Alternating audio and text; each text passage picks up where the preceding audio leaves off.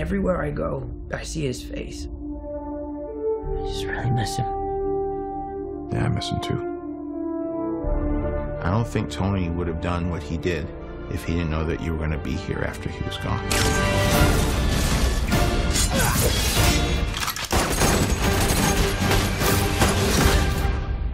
You gonna be the next Iron Man now? Well, no, I don't have time. I'm too busy doing your jobs. What? Oh. I'm kidding. I'm kidding. Look, keep up the good work. Because I am going on vacation. Heads up, Nick Fury's calling you. I don't really want to talk to Nick Answer Fury. the phone. Why? Because if you don't talk to him, then I have to talk to him. I don't want to talk to him. You sent Nick Fury to voicemail? I gotta go. You do not ghost Nick Fury. What up, dorks? What's up? We're just talking about the trip. I'm here in St. Marco Polo's. Oh, I think MJ really likes me. That reminds me when I first fell in love. You're a very difficult person to contact, Spider-Man. This is Mr. Beck. We could have used someone like you on my world. Your world? Beck is from Earth, just not ours. The snap tore a hole in our dimension.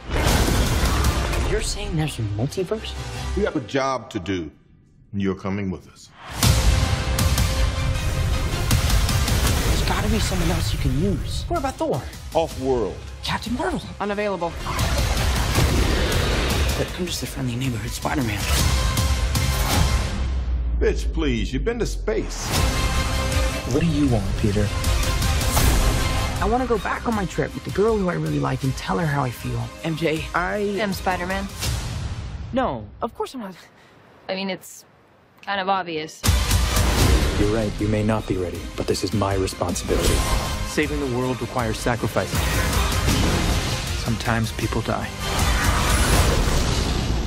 Oh my God. I just always feel like I'm putting my friends in danger.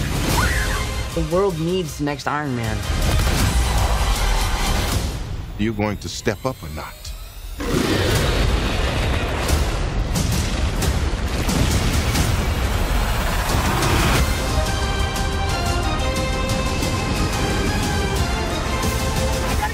Out of here. Get on the jet. Who are you? I work with Spider-Man. You work for Spider-Man? I work with Spider-Man, not for Spider-Man. New plan.